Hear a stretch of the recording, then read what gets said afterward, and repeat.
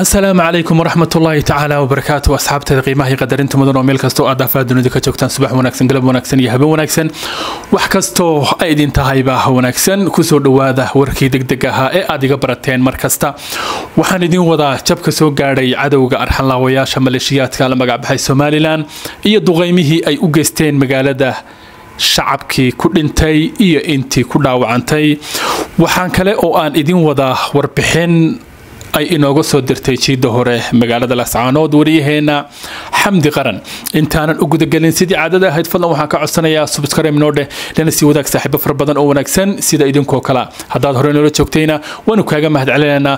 Laygtu waa noo dhiiragelin meel fogna way gaadhsiinaysaa wixii talaya tusaalaana komitiga hoose ayaad nagu soo reebi kartaan. Kusoo dhowaada haddaba weli ilaaya hadda dagaalkii ayaa socda kaas oo markii hore ka bilowda dhinaca galbeedka ama dhinaca waqooyiga.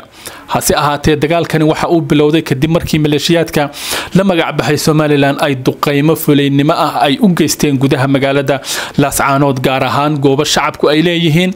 Waxaa ka mid ah dhakhtarka iyo kuleejkii agoonta iyo goobo kale oo ganacsiya ilaahay ha u naxariisto waxaa ku dhimatay afar qof oo shacaba waxaana ku dhaawacantay shan kale ugu dambeyn ciidamada jamaahiirta xaqudirarka s c iyo ciidamada hiil harti oo isla markiiba ka jawaabay duqeymahaas fuliynimada ah ee ay soo tuureen maleeshiyaadka la magacbaxay somalilan ayaa waxay weerar dhulka iyo duqeymaba ku qaadeen saldhigyada ay leeyihiin maleeshiyaadka la magacbaxay somalilan ee ku sugan gooja cadde. Dagaalkii hadda waxa uu u soo wareegay dhinaca bariga ama dhinaca maraaga. Labada dhinacba wuu ka dhacayaa waa dhinaca waqooyiga ama dhinaca galbeedka iyo dhinaca bariga oo maraaga ah. Maleeshiyaadkii waxaa soo gaadhay jab aad iyo aad u xoog badan haba ugu badnaado dhimasho iyo dhaawac. Haddaba wariyaheenna ku sugan halkaas xamdi qaran ayaa inooga waramaysa dhawahay walaalo. Waxaan ku suganahay magaalada laascaanood ee xarunta gobolka sool. Saaka waxaa ka dhacay dagaal ciidamada argagixisada slm ay ku soo qaadeen. Ciidamada xaqudirarka s c iyo ciidamada hilarti. Kadib ciidamadaas oo iska difaacay goobo badanna ka qabsaday. Sida la sheegayana dad badan ama ciidan badan laga laayay. Intii soo hadhayna ay go-doon ku jiraan. Balse meelo aada u fogfog ayay waxay ka soo ridayaan hubiyayaal lagu bartilmaameedsanayo dhakhaatiirta. Sida dhakhtarka weyn ee magaalada laascaanood ay saaka duqeeyeen iyo sidoo kale xarumaha agoomaha oo iyagana ay duqeeyeen iyo sidoo kale goobo kale oo magaalada ka mid a waan iska ognahay oo duqeyntani markay timaado waa marka ciidanka argagixisada slm la jabiyo ay xanuunsadaan ayay hubiye meel fog ka soo ridaan iyagoo ku ugaarsanaya shacabka ku sugan gudaha magaalada laascaanood walow magaalada laga qaxay haddana dad ay weli joogaan ciidamada laakiin jamaahiirta s c iyo ciidamada hilarti ayaa iyaguna weli dagaalkii kula jira goobo badanna ka qabsaday. Runtii dhimashadooda iyo dhaawacoodana goordhow waan iniisoo dayn doonaa.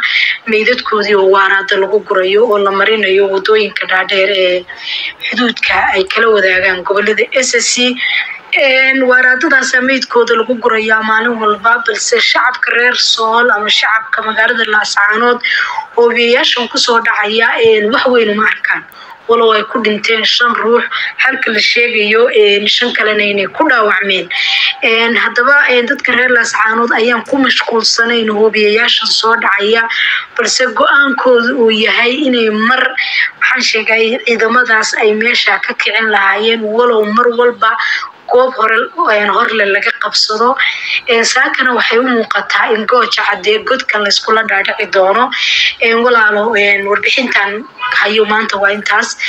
Magaalada laascaanood xarunta gobolka soolla dhalinyarada iyo haweenku waxay heegan ugu jiraan si ay ciidanka garab u siin lahaayeen. Sidoo kale dhanka ambalaasyada magaalada waxaa ka socota dadaalo ciidamada lagu garab siinayo. Maadaama ciidamadeena s c marka ay dagaal qaadaan ay goobo hor leh ay la wareegaan. Taasna waxaa keenaysa dhiirigelinta ay shacabkoodu dhiirigelinayaan balse ciidamada argagixisada slm ayaa xaggooda wax waran laga haynin.